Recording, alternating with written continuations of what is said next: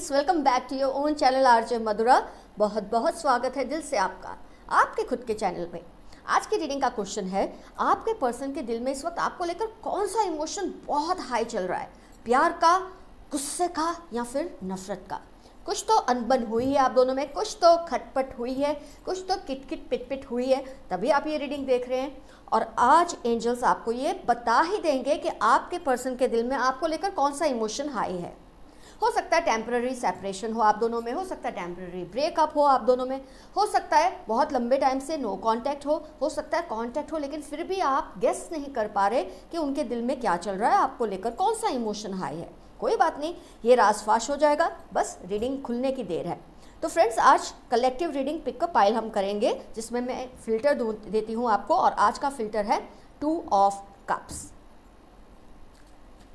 मतलब जिस पाइल में टू ऑफ़ कप्स होगा उस पाइल की हम रीडिंग लेंगे।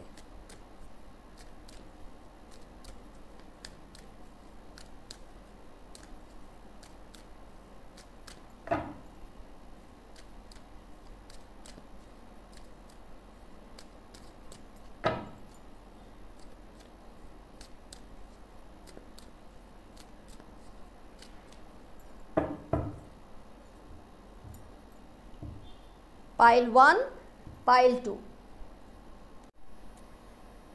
तसल्ली से दोनों पाइल्स को देखिए मेडिटेट कीजिए। एंजल से हेल्प मांगिए कि आपको पाइल सिलेक्ट करने में मदद करे। वैसे आप तभी पाइल सिलेक्ट करेंगे जब आप एक्चुअली उस सिचुएशन में होंगे। वरना आपकी सिचुएशन इससे मिलती जुलती होगी, लेकिन उसके रिजल्ट्स कुछ और होंगे। Pile one pile two two of cups तो फ्रेंड्स आपने अपनी पाइल सिलेक्ट कर ली है। तो मैं ओपन अप करती हूँ pile one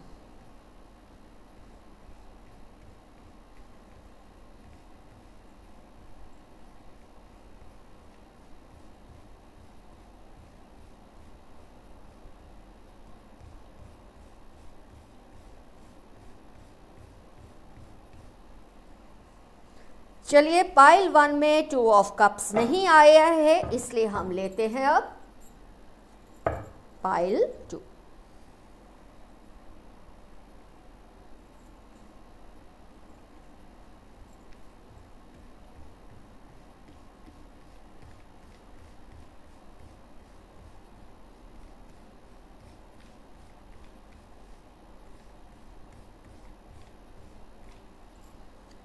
two of cups आया है पाइल टू में इस बार। बहुत अच्छा हुआ। काफ़ी टाइम से पाइल वन में ही मास्टर कार्ड आ रहा था। आज पाइल टू में आ गया है।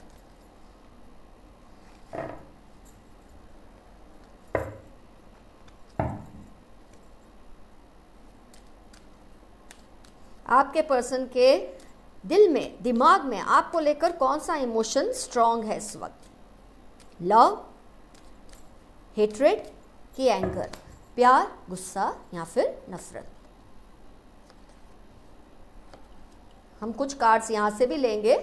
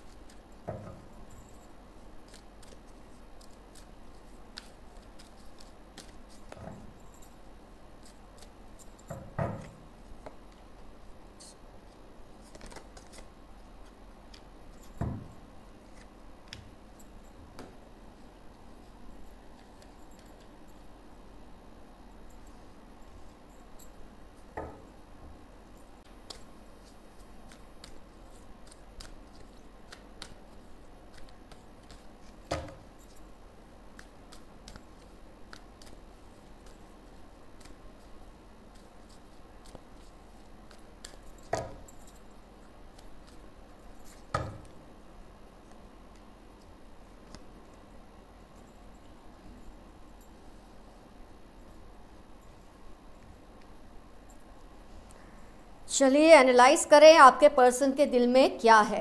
पहले तो हम देख लेते हैं कार्ड्स का जो एक एनर्जी है वो कौन सी है। Aloneness three of pentacles ten of swords ये थोड़ा नेगेटिव कॉनोटेशंस है।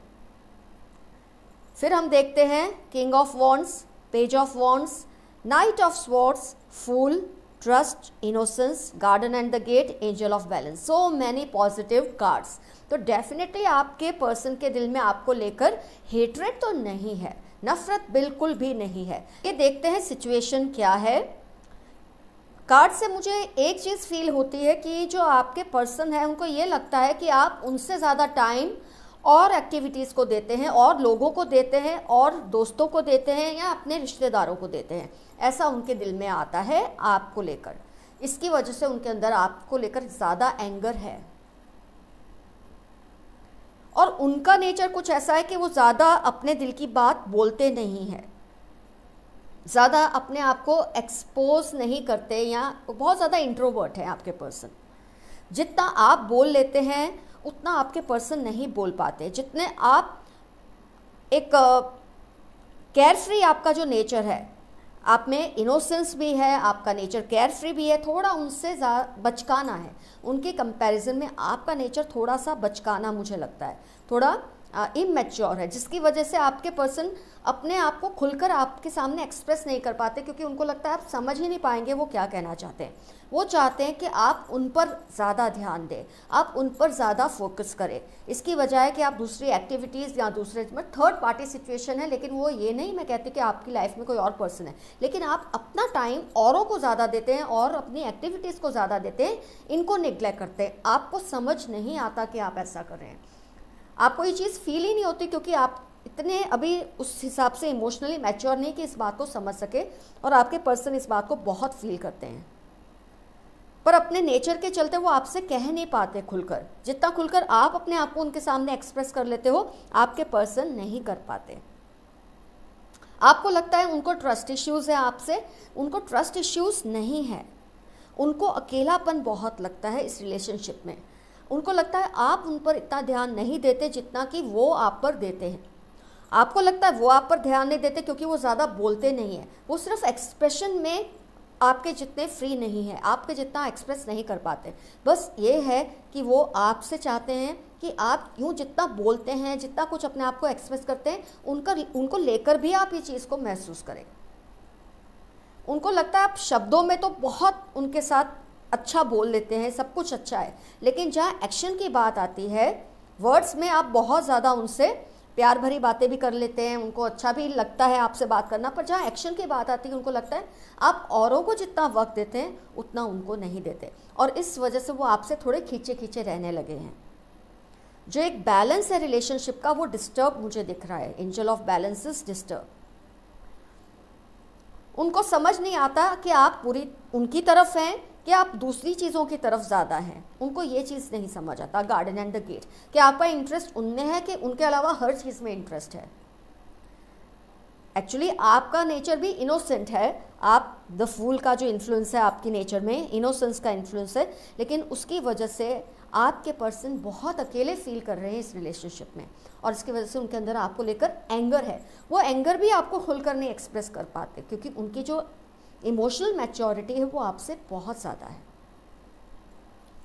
उनकी भी गलती है कि अगर वो खुल के आपसे कम्युनिकेट करें अपने मन की बात, कि वो आपसे खुलकर ये कहे कि जितना वक्त आप और चीज़ों को देते हो, उतना मुझे तो दो।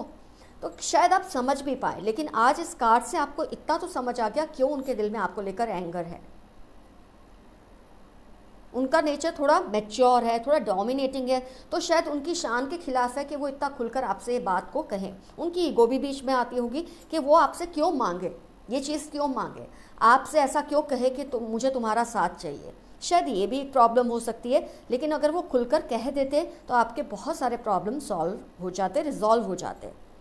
तो जो आप दोनों, आपकी तरफ़ से जो बैलेंस है रिलेशनशिप में, वो मुझे उनकी नज़र के हिसाब से डिस्टर्ब दिख रहा है। उनको लगता है आपका झुकाव और चीज़ों की तरफ़ ज़्यादा है और उनकी तरफ़ कम है।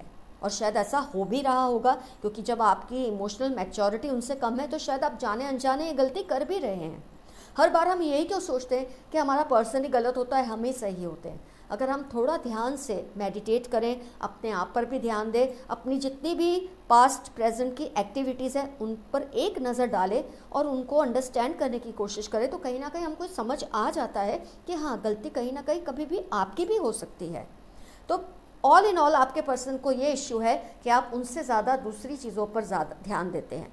उनको निग्लेक्ट करते हैं। आपको ये पता नहीं होता, लेकिन आपसे ऐसा शायद हो जाता है। और इससे वो बहुत ही अवॉइडेड फील करते हैं अलोन फील करते हैं। आपको लगता है उनको ट्रस्ट इश्यूज़ है ट्रस्ट इश्यूज़ नहीं है। वो बस इतना कहना चाहते हैं आपको कि जितना टाइम तुम औरों को देते हो, और एक्टिविटीज़ और लोगों को, और रिश्तों को, उतना उतना नहीं तो थोड़ा तो मुझे दो। शायद आपके ये आप, उनका प्यार ही है आपके लिए। ये उनकी उनकी लव की फीलिंग ही है आपके लिए, जो एंगर में कन्वर्ट हो गई है। बस आपसे वो थोड़ा और इम्पोर्टेंस चाहते हैं, थोड़ी वैल्यू चाहते हैं आपसे, और कुछ नहीं। लेकिन आप अपनी नादानी में ये चीज़ को समझ ही नहीं पा रहे। शब्दों में तो आप उनको बहुत अच्छा अच्छा बोल लेते हो, मना भी लेते हो, लेकिन एक्शन में उनको लगता है आप नहीं कर पा रहे इस रिलेशनशिप से जस्टिस तो अब आपके सोचने की बारी है कि आपसे कहीं गलती तो नहीं हो रही तो आप ज़रा बैठ के उनसे बात कीजिए, ये इश्यूज़ को रिजॉल्व कीजिए ये रिलेशनशिप में जो बैलेंस आपकी तरफ़ से गड़बड़ा रहा है, उनकी नज़र में, मैं ये नहीं कह रही हूँ कि आपने ऐसा किया है, पर ये उनका कहना है कि आप ऐसा कर रहे हैं। आप या तो उस साइड या तो इस साइड क्लियरली एक डिमार्केशन को रखिए कि जब आप उनके साथ होते हैं तो टोटली उनके साथ ही रहिए। हो सकता है जब आप उनके साथ होते, तब भी आप दूसरे इश्यूज़ के बारे में बात कर रहे होते हैं कि ये करना है, वो करना है, इसके साथ जाना है, वहाँ करना है। मतलब आपकी बातों में आप बैठे उनके साथ हैं, लेकिन बातें दूसरी बातों की ज़्यादा हो रही है। दूसरे इश्यूज़ की ज़्यादा हो रही है, दूसरे लोगों की ज़्यादा हो रही है, दूसरी एक्टिविटीज़ की ज़्यादा हो रही है। उनको चाहिए कि आप जब उनके साथ हो तो टोटली उनको समर्पित रहें उस वक्त। बस इतना सा उनका ख्वाब है आपके लिए। तो फ्रेंड्स ओवरऑल पॉजिटिविटी ज़्यादा है इन कार्ड्स में, आपके पर्सन को आपके लिए प्यार बहुत ज़्यादा है, लेकिन हाँ थोड़ा गुस्सा है और आपको वजह भी पता चल गई है। अब इसके बाद भी अगर आप इसके रिजॉल्व नहीं करते तो ये धीरे धीरे डिस्टेंस बढ़ता रहेगा, दूरियाँ बढ़ती रहेंगी और शायद कभी भी आप रिलेशनशिप से जस्टिस नहीं कर पाएँगे। जब खो देंगे, तब आपको तकलीफ़ होगी कि आपका पर्सन आपसे दूर हो गया। अभी भी वक्त है इस रिलेशनशिप को संभाल लें love you all the best see you soon bye comment section में ज़रूर लिखिए कि आपने क्या करने का डिसीज़न लिया ताकि और व्यूअर्स को भी इससे थोड़ी मदद मिले। बाय